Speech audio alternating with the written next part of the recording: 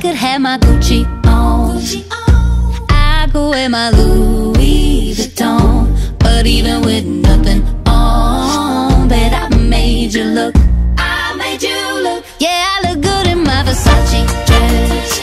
But I'm hotter when my morning hair's a mess. Cause even with my